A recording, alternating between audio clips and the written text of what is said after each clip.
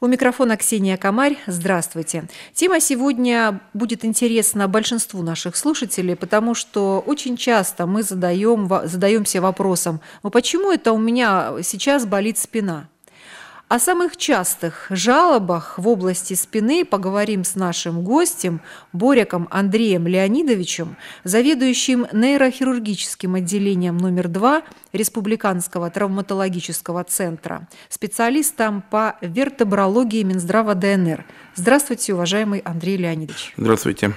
Очень интересно будет нашим слушателям для начала узнать. Э, есть мануальные терапевты, есть хирурги, есть даже кинезиологи. И вот вертеб...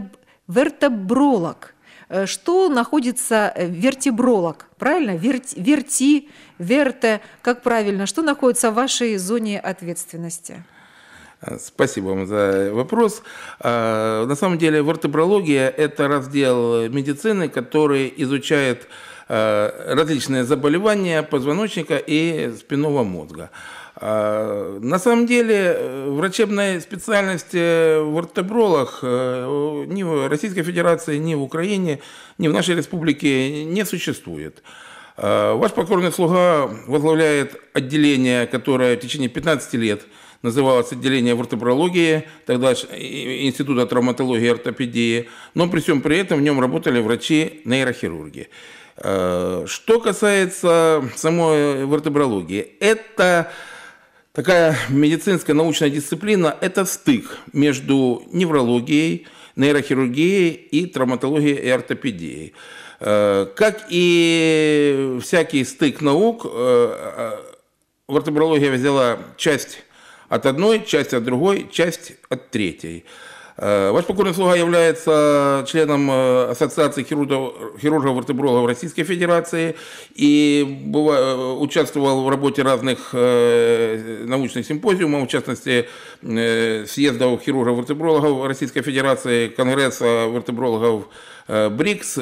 И на всех этих уровнях мои коллеги задаются вопросом, что пора бы приобрести отдельную врачебную специальность, который так бы назывался в вертебролах. Но, увы, пока это э, только мечты, планы, а мы имеем то, что имеем.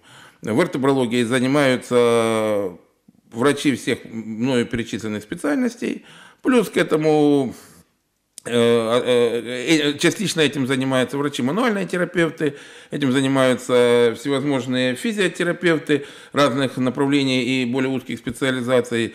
Ну, в общем-то, это вопрос очень широкий. Ну, в вертебролах предметно занимается спиной, правильно да. я говорю? Позвоночником, я бы сказал, точнее. Позвоночником. Так почему же болит спина? Вот, например, при простуде может болеть спина? Ну, на самом деле, давайте мы вернемся, немножко углубимся в этот вопрос. Что такое вообще боль в спине? Или точнее, что такое спина? А, как бы понятие спина, ну, это такое понятие, с которым мы с детства знакомы, и знаем, что вот есть спина. Все, что Нет... ниже, все, что ниже головы. Совершенно верно, да. И, вы, и выше, ну, будем так это называть, ног, это спина. На самом деле, спина тоже делится на грудной отдел, на пояснично-крестцовую область. А если мы возьмем, э, позволю немножко утомить наших радиослушателей, возьмем анатомическое строение позвоночника, то он состоит из шейного отдела, грудного, пояснично-крестцового и копчика. Первых три отдела, которые я перечислил, они внутри содержат нервные структуры, это спинной мозг и другие нервные образования. И на самом деле позвоночник это очень сложная структура, потому что он состоит из костей, из, из связок, из хрящей, из э, межпозвонковых дисков, из суставчиков, и внутри это содержит нервную структуру. Поэтому боль в спине может возникать при, будем так говорить, заболевании любого из компонентов этой структуры, будь то нервная ткань, будь то мышечная ткань, будь то хрящевые какие-то изменения, в частности, там смещение межпозвонковых дисков, повреждение связок и так далее и тому подобное.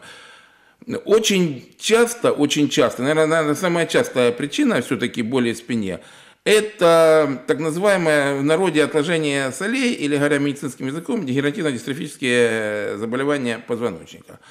А, допустим, при простуде, вот э, многие приходящие к нам пациенты говорят, я застудил спину. Вот спина заболела, начала отдавать ногу, все. Э, что это такое, доктор?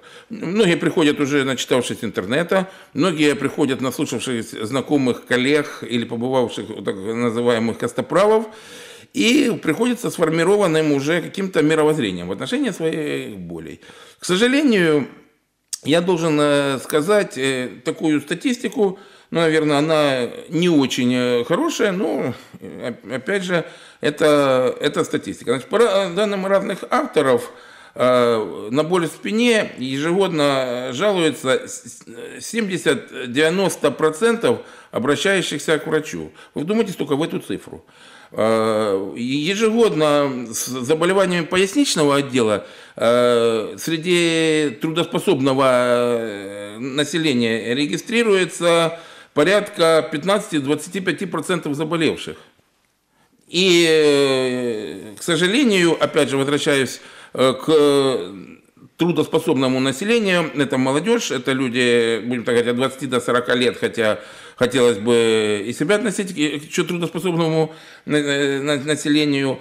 У 10-20% э, этих людей вот эта боль, она, к сожалению, становится хронической то есть э, приобретает э, различные формы заболеваний. И возвращаясь к вопросу о простуде, то есть получается, что человек переохладился, там, либо попал на контраст температуры, либо попал просто на, э, говоря народным языком, сквозняк, посидел в проекции работающего кондиционера, либо еще каким-то иным другим способом, и получается, что его хроническое заболевание, в частности хронический радикулит, обострился, и получается, что от простуды у него появилась боль в спине, зачастую еще и отдающая, и радиирующая в ноги.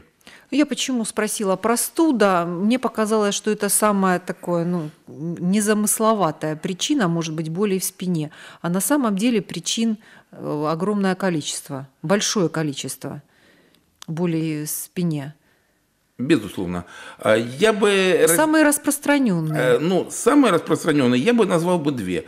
Это переохлаждение, о котором мы уже говорили, и тяжелый физический труд, особенно связанный с э, неправильным э, подъемом тяжести, с неправильными нагрузками, с неправильным положением тела. Я позволил бы себе немножко отвлечься и поговорить о том, почему это стало такой причиной. Ваш покорный слуга Э, начиная работать 30 э, с лишним лет назад в практическом здравоохранении, э, читал и слышал, что остеохондроз – это заболевание людей уже определенных возрастных групп, там 40-50 лет и больше.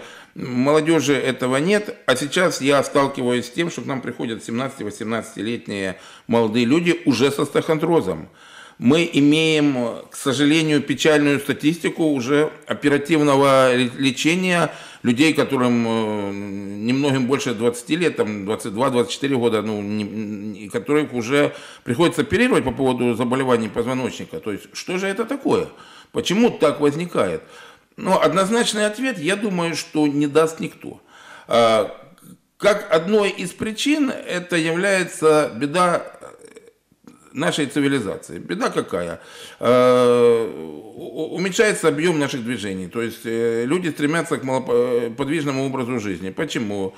Телевидение, компьютер, масса других причин, я не буду их перечислять, приводит к тому, что с молоду, с детства современное наше население э, значительно меньше уделяет внимания каким-то физическим нагрузкам. А, вторая проблема, я бы сказал бы, это маргинальная проблема, это, как говорится, с другой стороны, это занятие спортом. На неокрепшие позвоночники до 16 лет очень много э, молодых людей, которых э, ну, говоря словами их тренеров, они являются перспективными, будь то гимнастика, акробатика, э, бальные или спортивные танцы, метание, там легкоатлетические целый ряд там, спец, э, направлений, там метание копья, либо наоборот тяжелоатлетические э, поднятия штанги, э, бокс, борьба, это фехтование, это приводит к тому, что на неокрепший позвоночник молодого человека э, идет очень большая нагрузка. И те родители, которые радуются успехам э, своих детей в большом спорте, они должны осознавать, что э, среди 20-30-летнего возраста а, у их детей вероятнее всего, будут проблемы с позвоночником. То есть ресурсы позвоночника, он тоже Совершенно имеется, верно. да? Износился а, раньше времени. Есть такое, я, я сейчас сразу скажу, я не, я не выступаю против большого спорта, чтобы люди профессионалы меня неправильно не поняли, но я все-таки хочу обратить внимание, что индивидуальные особенности каждого ребенка – это индивидуальные особенности. И то, что у него есть какие-то успехи в спорте в каком-то направлении, это не всегда только хорошо. Это может быть и плохо. Поэтому, ну, этому моменту, наверное, надо уделять индивидуально. Это, я думаю, даже тема для отдельной передачи. Я бы сейчас не хотел бы уходить в это русло. Да, это одна из проблем. Ну, коль мы об этом заговорили, какой вид спорта вы считаете наиболее безопасным и оздоравливающим? Ну, это не я считаю, ну, бытует такое мнение, я его поддерживаю, это плавание. Но опять же, я сейчас скажу, что любой спорт в виде большого спорта, он, к сожалению, не полезен для организма. И это мнение физиологов, это мнение, есть такое даже выражение, я не, не буду ссылаться на автора, что любой э, спорт выше второго взрослого разряда, ну, наверное, кроме шахмат, э, вреден для здоровья. Ну, это не означает, что не нужно заниматься спортом. Я хочу еще раз понимать ситуацию, что Лечебная физкультура. Физкультура вообще для организма очень хорошо. Это нужно, это обязательно нужно. Упражнения, укрепляющие мышцы спины, если ребенок с детства занимается э, какими-то видами спорта, которые укрепляют мышцы спины, это хорошо. Э, к сожалению, сказать однозначно, что вот только плавание, да, плавание стоит на первом месте из тех э, видов физической деятельности, которые полезны для позвоночника. Но это не означает, что не нужно бегать, это не означает, что не нужно прыгать, хотя прыжки, э, особенно при игровых видах спорта, с поворотом не всегда тоже полезны для позвоночника. Но еще раз говорю, так мы можем отрицать вообще любую физическую активность. А Андрей... я начал с того, что Э, я начал с того, что мы все-таки малоподвижный образ жизни поставили на одно из первых мест э, по причинам вот этих болей в спине, почему они таким образом участились. Поэтому, наверное, все-таки нужно искать золотую середину. Ну, возможно, вы нам дадите совет о самых, э, вот комплекс самых простых упражнений для спины.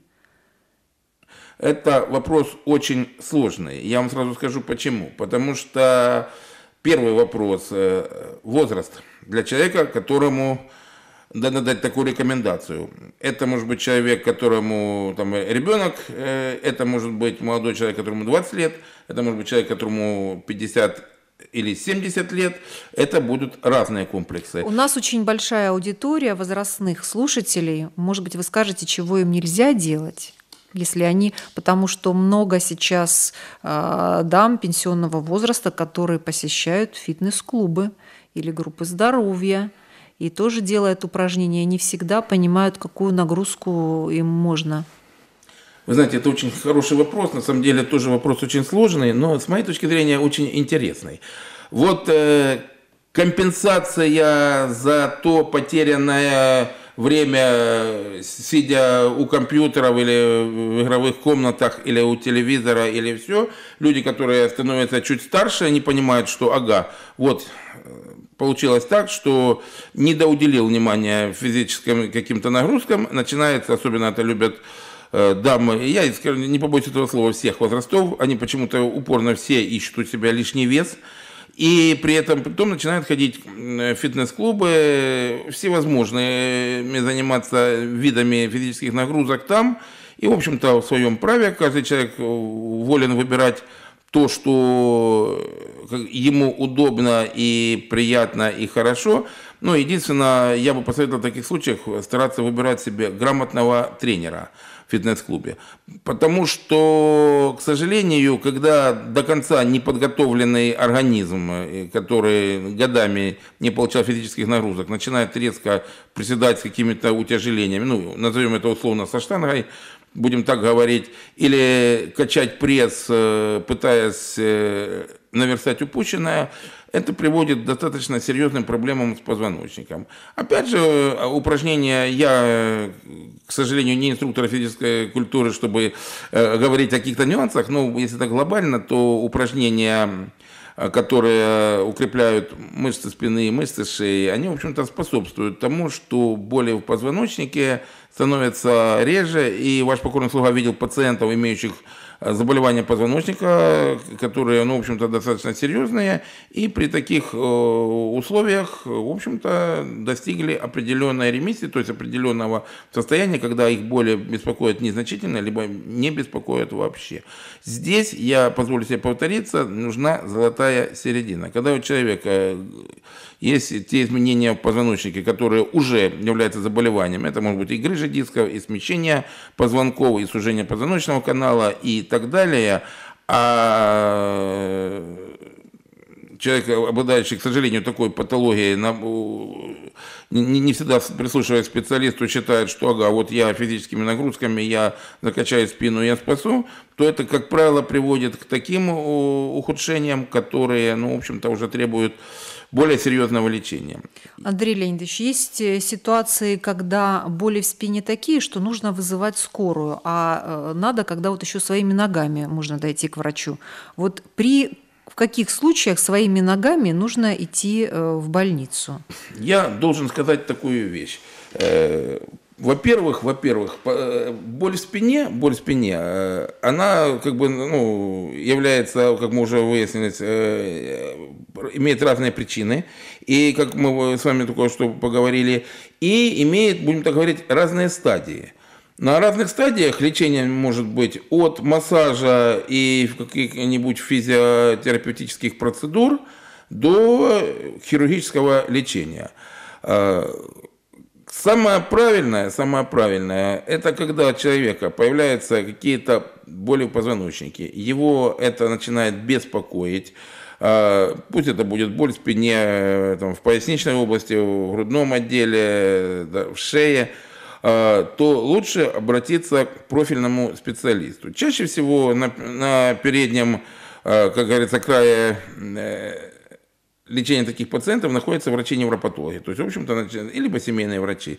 Начинают э, обращение к ним. К сожалению, к сожалению, я должен сказать, что ну, мы все живем сейчас в сложное время. Э, на нашей территории происходят э, такие коренные преобразования. Мы имеем дело в том числе и с дефицитом врачебных кадров. Не всегда, к сожалению, наши пациенты своевременно попадают к профильным специалистам, поэтому хотел бы сразу сказать, что практически в всех э, больницах республики есть невропатологи в том или ином количестве. Мы, э, ваш покорный слуга, э, заведующий нейрохирургическим отделением Республиканского травматологического центра, то есть профиль наших нейрохирургических отделений в Республиканском травматологическом центре, это позвоночник, спиной мозг. Мы консультируем очень, у нас очень много грамотных врачей, собственно говоря, у нас практически абсолютное большинство нейрохирургов, работающих в нашей клинике, имеют высшую категорию, целый ряд имеет ученые степени, поэтому мы всегда доступны, мы консультируем очень много пациентов, которые к нам обращаются по поводу проблем позвоночника. Это не означает, что к нам нужно обратиться либо только тому, у кого есть травма позвоночника, или тому, кому уже нужна операция на позвоночнике, а мы, в общем-то, очень много нам обращается пациентов, мы даем советы и по лечению, и по образу жизни. То есть, если есть такая необходимость, пожалуйста, можно обращаться к нам. Э, масса невропатологов, которые могут консультировать. Э, я бы хотел здесь сделать одну маленькую ремарку. Значит, э, методы лечения, я уже сказал, разные. От физиолечения и массажа до хирургических методов лечения, которых, кстати, тоже очень много и очень разные. Э, я бы хотел бы э, сакцентировать внимание на таком методе лечения, как мануальная терапия. Очень распространенным, очень модным. И многие пациенты, которые приходят к нам, они уже прошли этот метод лечения. Значит, метод лечения сам по себе достаточно хороший, но, как и любой метод лечения, он имеет свои показания и противопоказания. И как э, при любом методе лечения, к мануальному терапевту надо обращаться тогда, когда есть диагноз. И грамотный мануальный терапевт, если к нему приходит пациент там, э, ну, э, говоря медицинским языком, с нестабильным спондилолистезом, или говоря человеческим языком, со смещением позвонков, либо со смещением или выпадением межпозвонковых дисков, э, при этих, как правило, при этой патологии мануальная терапия уже не помогает, а во многих случаях даже вредит. Поэтому, когда попадает к грамотному мануальному терапевту, и он пациенту объясняет, что он уже не его пациент, это хорошо. К сожалению, я должен сказать, что ну, у нас развита сеть как мануальных терапевтов, которые, кстати, часто называют себя вертебрологами, нейровертебрологами, вертеброневрологами, даже нейроортопедами, но мы уже с вами поговорили о вертебрологии, это, э, об этом термине объяснили, то надо понимать одно, насколько профессионален этот человек – потому что те осложнения, которые нам приходится сталкиваться и лечить их хирургическим путем, в определенном проценте связаны с э, не совсем правильной и грамотной мануальной терапией, а зачастую тогда, когда этот метод лечения применяется пациентам, которым он противопоказан. Я сейчас даже не обсуждаю сеть народных целителей и костоправов, которые есть, которых все знают, а некоторые говорят, что они там мертвых поднимают.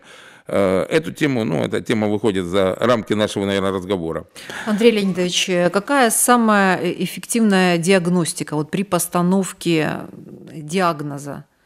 Э, способ, способ э, диагностики, какой самый эффективный на сегодняшний Спасибо день? Спасибо за вопрос. На самом деле сейчас при наличии интернета, при наличии телерадиопередач э, к нам приходят люди уже подготовленные, которые уже приблизительно знают, что им надо, и э, даже некоторые приходят и говорят, что им надо сделать, то есть они обращаются к врачу говорят, а нам надо сделать такое-то обследование. То есть это цель прихода к врачу, получить направление на то или иное обследование.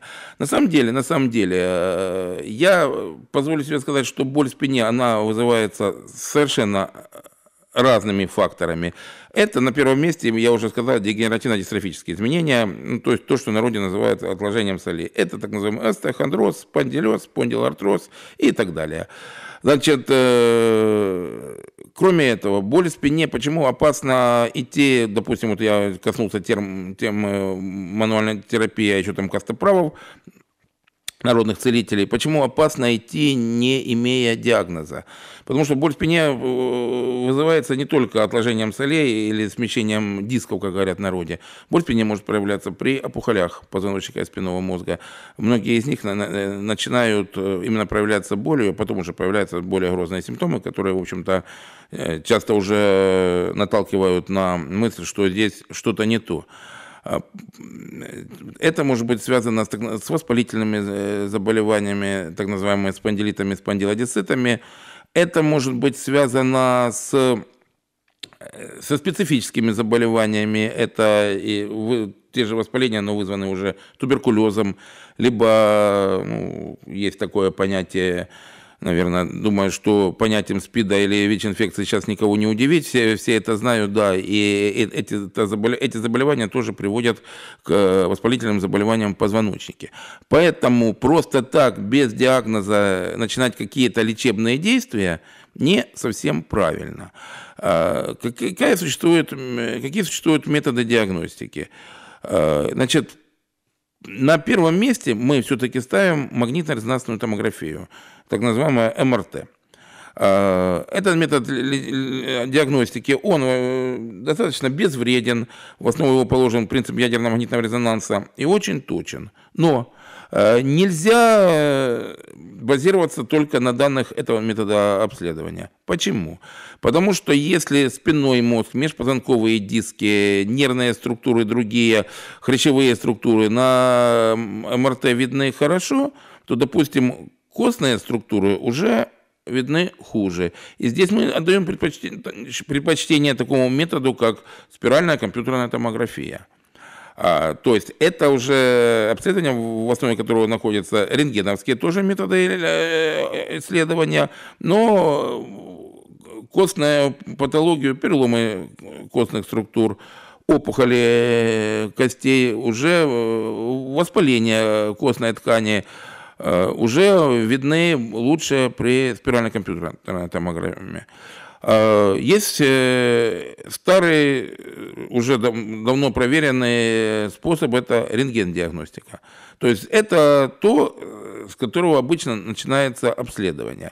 Значит, я здесь тоже должен сказать, что, как бы, к сожалению, обычная обзорная рентгенограмма э, при заболеваниях позвоночника, особенно когда там уже есть какие-то признаки неврологических заболеваний, когда появляются там боли, которые куда-то отдают или еще что-нибудь, они уже, этот метод э, обследования не совсем эффективен, но мы э, пользуемся так называемой функциональной э, рентгенографией, или рентгенография с функциональными нагрузками, говоря человеческим языком, это э, снимок, когда пациенту делается там наклон вперед, либо наклон назад, либо если это имеем дело с шейным отделом, то наклон головы вперед или назад.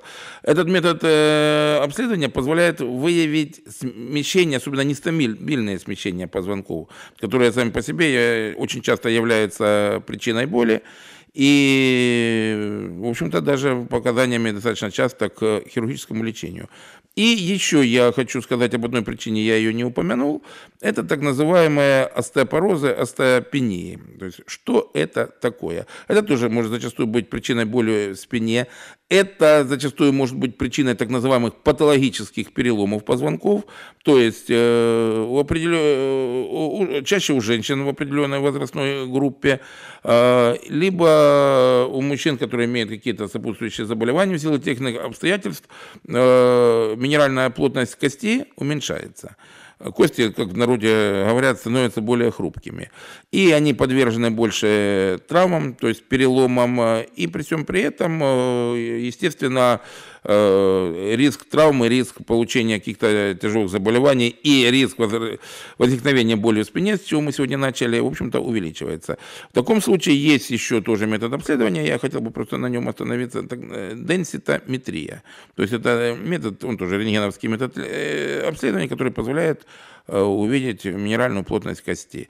Ну, есть масса еще других методов обследования. Я бы не хотел бы обидеть своих коллег, которые занимаются теми иными методами обследования, которые действительно помогают нам для более постанов... точной постановки диагноза. Но я бы хотел бы остановиться сейчас на вот этих четырех методах, о которых я сказал. Благодарю. Очень обширная тема, как вы подчеркнули. Наше время, к сожалению, истекает. Понятно одно, что все методы используются в Республиканском травматологическом центре, потому что есть все необходимое оборудование. Да? Да, это правда. У нас есть все необходимое оборудование. Э, и магниторезонансный томограф, и спиральный компьютерный томограф, который у нас, к счастью, заработал, буквально у нас было некоторое время перерыва, он не работал, к счастью, он сейчас заработал. У нас новый спиральный компьютерный томограф очень э, высокой разрешающей способностью, поэтому, в общем-то, так же самое, как и магниторезонансный томограф у нас на сегодняшний день на территории Донецкой области, э, самой Донецкой области, я имею в виду до военной границы, наиболее мощный, полтора Тесла. Также есть денситометр, ну, естественно, цифровой рентген, то есть мы как бы диагностически вооружены. Ну, благодарю вас. Значит, будем жить, а вы будете лечить. Спасибо. У нас сегодня в гостях был Боряк Андрей Леонидович, заведующий нейрохирургическим отделением номер два Республиканского травматологического центра, специалист по вертебрологии Минздрава ДНР. Сегодня эм, говорили о том, почему болит спина. Спасибо вам за актуальную информацию. Спасибо вам. Спасибо радиослушателям. Всего хорошего. Здоровья вам, здоровых позвоночников. Спасибо.